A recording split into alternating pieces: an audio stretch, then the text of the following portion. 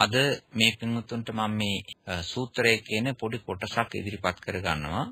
ඒ තමයි අපි මේ මනුස්ස ලෝකයේ ඉඳගෙන මෙහෙම කටයුතු කරනකොට අපි කරන කටයුතු කරන ක්‍රියාවල් අපේ අසල්වාසීන්ට සමහර වෙලාවට දැනෙනවා සමහර වෙලාවට පෙනෙනවා. අසල්වාසීන්ට සමහර වෙලාවට දැනෙනවා පෙනෙනවා. යම් විදිහකින් අපි අසල්වාසීන්ට අපේ වටපිටාවේ ඉන්න අයට නොපෙනී නොදැක ඒ වගේම ඒ අයට දැනෙන්නේ නැති විදිහට අපි යම් කිසි දෙයක් කළත් ඒ වගේම යම් කිසි කෙනෙකුට ඇහෙන්නේ නැති තත්යකට තරමකට අපි යම් කිසි දෙයක් ප්‍රකාශ කළත් මනුස්ස ලෝකේ ඉක්මවා ගියා වූ අපිට පේන්නේ නැති නමුත් තවත් සත්ව කොට්ටාසයක් අපි කියන දේ අහගන්නවා අපි කරන දේ දකිනවා අපි හිතන දේ ඒගොල්ලෝ දැනගන්නවා. එතකොට එවැනි සත්ව කොට්ටාසයක් අපේ ඇසට ගොදුරු නොවුනාට එහෙම සත්ව කොට්ටාසයක් කියන දෙවියෝ ඒ වගේම භූතයෝ ඒ වගේම තවත් අදෘශ්‍යමාන සත්වයෝ. ඒ ඇයට දැනෙනවා. මේ බුදුරජාණන් වහන්සේගේ කාලේ ස්වාමින් වහන්සේලා ඔය වනාන්තරයට ගිහිල්ලා බණ භාවනා කටයුතු කරනකොට ඒ වගේම වනාන්තරේ සීලාදී ගුණ ආරක්ෂා කරන කටයුතු කරගෙන කරගෙන යනකොට උන්වහන්සේලාගේ භාවනා වැඩපිළිවෙළවල් උන්වහන්සේලාගේ සක්මන් උන්වහන්සේලාගේ ඒ කතා කරන දේවල් දකිනවා අහනවා. එක අවස්ථාවකදී එක්තරා දේවතාවෙකුට ප්‍රශ්නයක් ඇති වුණා. මේ ස්වාමින් වහන්සේලාගේ කතාවන් පිළිබඳව රහතන් වහන්සේ නමක් රහත් වුණාම බුදුරජාණන් වහන්සේ ළඟට ඇවිල්ලා ප්‍රකාශ කරනවා මගේ සියලු කටයුතු අවසానයි. කරන්න තියෙන දේවල් මං කරා. බුද්ධ ශාසනයෙන් මම ප්‍රතිඵල ගත්තා. මේ වචන භාවිතා කරනවා. උන්වහන්සේ රහත් භාවයට පත් වෙනකොට කලේ මොකද්ද? ආත්මයක් නැහැ, සත්වයේ පුජ්‍යලයක් නැහැ කියන ඒවා පළමුවෙන් පළමු මාර්ග ඥාණයෙන්ම නැති කරලා ඊළඟට තිබිච්ච ඉතිරි ඔක්කොම කෙලෙස් අරිහත් මාර්ගයෙන් නැති කරලා පිරිසුදුනා. එතකොට මමය මාගේය කියන ආත්මය පිළිගැනීම ඒවා කරන්නේ නැහැ. නමුත් මේ මේ దేవතාවාට තිබිච්ච ප්‍රශ්නය තමයි එහෙම ගතියක් තියෙන. එහෙම කියන්නේ ආත්ම දෘෂ්ටියක් නැති කරපු සත්ත්ව ගති නැති කරපු ඒ රහතන් වහන්සේලා අනිත් අයට කතා කිරීමේදී කතා කරන විදියක් තියෙනවා. ඉතින් ඒ එයාට එයා බුදුරජාණන් වහන්සේ ළඟට ඇවිල්ලා මේ කියනවා ස්වාමීනි මේ යෝ හෝති භික්ඛු අරහං කතාවේ මේ කීනාස වූ අන්තිම දේහධාරී මේ ස්වාමීනි රහත් භාවයට පත් වුණා වූ. ඒ වගේම අරිහත් මාර්ගයෙන් කෙලෙස් සියල්ලම නැසුවා වූ. ක්ෂීණ ආශ්‍රව ඒ වගේම අන්තිම දේහධාරී. අවසාන ශරීරයක් අවසානයේට ශරීරයක් දරන්නා මේ ශරීරයෙන් පස්සේ නැවත කිසිම දිග ශරීරයක් උස ශරීරයක් කොට ශරීරයක් වර්ණවත් අවර්ණවත් පාට අපාට මොනම ශරීරයක්වත් රූපයක් නැවත පහළ වෙන්නේ නැහැ. මේ තමයි අවසාන ශරීරය දේහය අන්තිම දේහධාරී ඒ වගේම යම්කිසි සත්ව පරම් සත්වයේ පරම්පරාවකට එහෙම නැත්නම් එනේ ජීවිත ගණනේ භව සංසාරයේ ආදාන කටයුතු මරණ පොළවල් තිබුණා නම් මේ අවසාන මෙයාගේ ඒ චිත්ත පරම්පරාවට සම්බන්ධ රූපේ අවසාන මරණයමි. අවසාන ආදාහන කටයුතු. ඒක නිසා වෙනත් නැවත මොකක්වත් නැහැ. කෑම බීම දෙනවා නම් මේ අවසාන ශරීරයේ කණ්ඩ දෙන්න ඊළඟට උණුහුමක් ලබන මේ අවසානම ශරීරය. අන්තිම දේහධාරී. එතකොට ඒ ශාරීරිය පැත්තෙන් කීනාසෝ කියලා කියන්නේ ආධ්‍යාත්මික පැත්තෙන් කිසිම මොකක්වත්ුත් නැහැ. හැබැයි ඒ වගේ ඉන්න රහතන් වහන්සේ ස්වාමීනි මේ කතා කරන්නේ මෙහිමයි. අහං වදාමි තිපිසෝ වදෙය. එහෙම අන්තිම දේහධාරී අන්තිම ශරීරයක් දරන රහතන් වහන්සේ කියන්නේ මම කියනවා මම කතා කරනවා මම ප්‍රකාශ කරනවා කියලා ඒ රහතන් වහන්සේ කියනවා. අහං වදාමි තිපිසෝ වදෙය. ඒ විතරක් නෙවෙයි මමං වදන්ති තිපිසෝ වදේ. මට කියනවා කෙනෙක්. මට ප්‍රකාශ කරනවා. මට අඬ ගහනවා. ওই විදිහට මම මට කියන වචන පාවිච්චි කරනට මේ අහගෙන ඉන්න කෙනාට බලාගෙන ඉන්න කෙනාට මේක මහා ගැටලුවක් තියෙනවා මතුවෙනවා නැති කරපු දෙයක් නැවත මේ කටින් ප්‍රකාශ කරන කියන බව.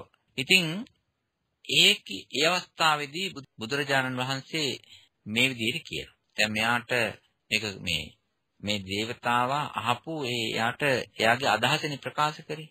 ඇයි එහෙම වෙන්නේ කියලා. බුදුරජාණන් වහන්සේ දේශනා කරනවා ඔව් යෝ හෝති බික්ඛු අරහං කතාවේ කේනාසවෝ අන්තිම දේහධාරේ අවසාන ශරීරයක් ඇති රහත් වෙච්ච ආශ්‍රවියු නැති රහත් භාවයටපත් වෙනකොටම සියල්ල නැසුවා වූ භික්ෂුන් වහන්සේලා රහත් භික්ෂුන් වහන්සේලා ඉන්නවා. ඒ භික්ෂුන් වහන්සේලා අහං වදාමී තිපිසෝවදේ උන්වහන්සේලා කියනවා මම කතා කරනවා මම ප්‍රකාශ කරනවා මම කියනවා කියන ඒ විදිහට මම කියන එක ගන්නවා. අරගෙන ප්‍රකාශ කරනවා. මමං වදන්ති තිපිසෝ වදේ මට කියනවා මට ප්‍රකාශ කරනවා කියන ඒ කතාවත් කියනවා. දැන් ඒ කෙලෙස් නැසපු රහතන් වහන්සේලා ওই විදිහට ප්‍රකාශ කරනවා හේතුව ලෝකේ සමඤ්ඤං කුසලෝ විදිත්වා වෝහාර මත්තේන සෝ වෝහරෙය්‍ය. ලෝකේ සමඤ්ඤං. ඒ කියන්නේ දක්ෂ ලෙස මේ ලෝකේ ප්‍රකාශ කරන ලෝකේ කතා ව්‍යවහාරය දැනගන්නවා. ලෝකේ සාමාන්‍යව කියලා කියන්නේ කතා ව්‍යවහාරය. ලෝකේ සමඤ්ඤං කුසලෝ විදිත්ව දක්ෂ ලෙස ඒක කාරණේ දැනගෙන මිනිස්සු කතා කරන විදිය ඒ ඒ පළාත්වල භාවිතා කරන වචන දැනගෙන බෝහාරමත්තේන ව්‍යවහාර කරන්නා වූ ඒ ව්‍යවහාර මාත්‍රයෙන් පමණයි උන්වහන්සේලා කතා කරන්නේ දැන් අපි මෙහෙම හිතමු පොඩි ළමයින්ට මේ බෝනික්ව දෙනවා පොඩි ළමයෙකුට බෝනික්කෙක් දෙනවා ඒ පොඩි ළමයාට බෝනික්කා දරුවෙක් වෙනවා එයාගේ ලෝකේ පුංචි දරුවෙක් වෙනවා. ඒ දරුවට නමක් තියෙනවා. අපි හිතමු කැටි කියලා. ඉංග්‍රීසි හැටියට. එහෙම නැත්නම් සිංහලෙන් කියමු පුංචි කියලා තියෙනවා. දැන් මේ බෝනික්කට නමක් තිබ්බයින් පස්සේ ඒ පුංචි දරුවා බෝනික්ක හඳුන්වන්නේ කැටි හැරි පුංචි හැරි කියලා. එයාට එයා දරුවෙක්. එයා නලවනවා දරුවා බෝනික්කව. ඒ වගේම සමහර වෙලාවට හොදනවා නාවනවායි කියලා. බෝනික්කා කියන දරුවට සීතල වෙයි කියලා පොරවනවා. බෝනික්කාව නිදි කරවනවා. බෝනික්කා අඬනවායි කියලා යනවා.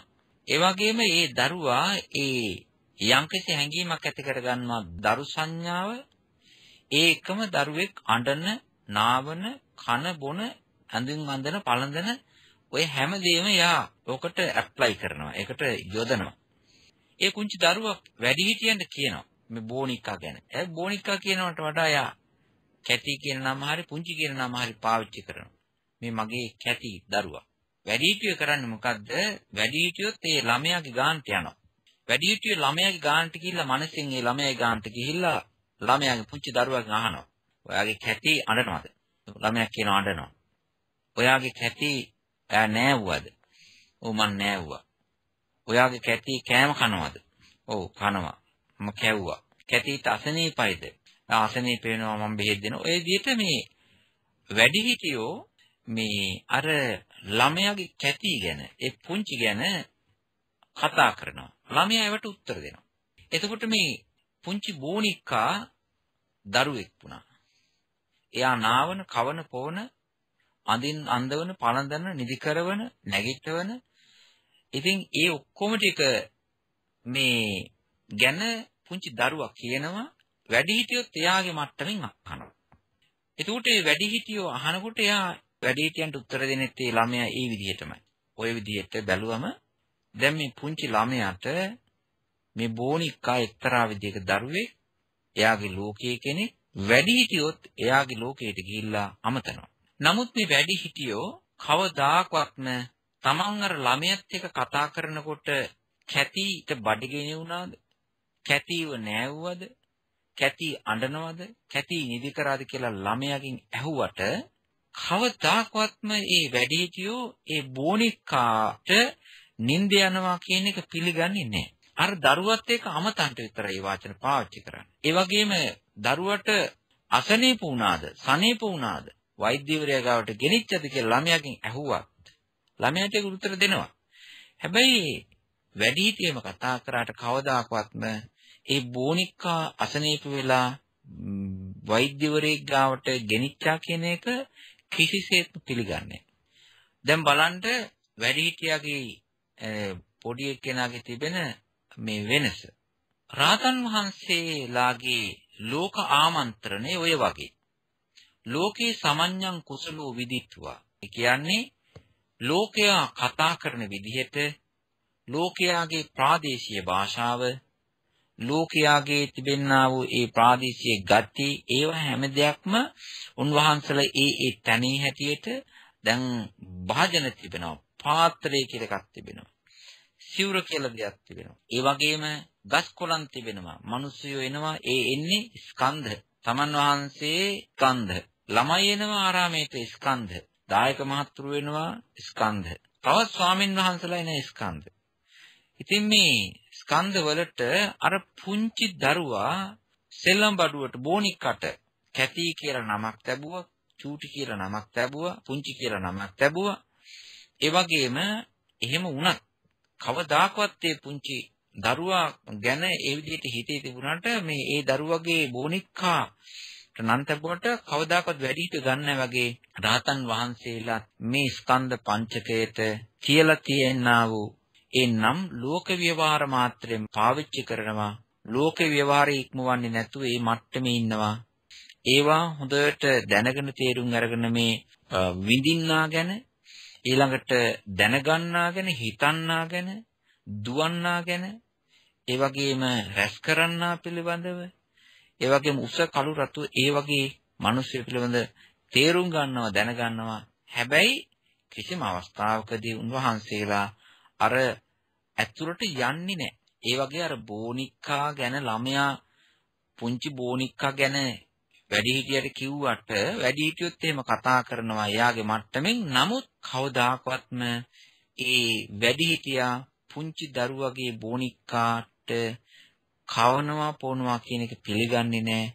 නාවනවා නින්ද යනවා කියන එක පිළිගන්නේ නැහැ. ඒක ස්පර්ශ කරන්නේ නැහැ. ඒකට කියනවා පරාමාස කරන්නේ නැහැ කියලා. ඇතුළට කිඳගන්නේ නැහැ කියලා. හැබැයි මේකක් තියෙනවා. ලෝකයේ ওই රහතන් වහන්සේගේ ගැන ඔය කිව්වේ. රහතන් වහන්සේ ගැනයි කිව්වේ. හැබැයි ඉන්න ලෝකයේ මිනිස්සු සත්වයෝ රහත් වෙච්චේ නෙවෙයි. පෘතජ්ජන භාවේන සත්වයෝ. මේ පෘතජ්ජන භාවේන සත්වයෝ ඇවිල්ලා ඔය වගේ පරාමාස ගතියෙන් මිදිච්චයි නෙවෙයි. ඒ අයට පරාමාසයේ තියෙනවා.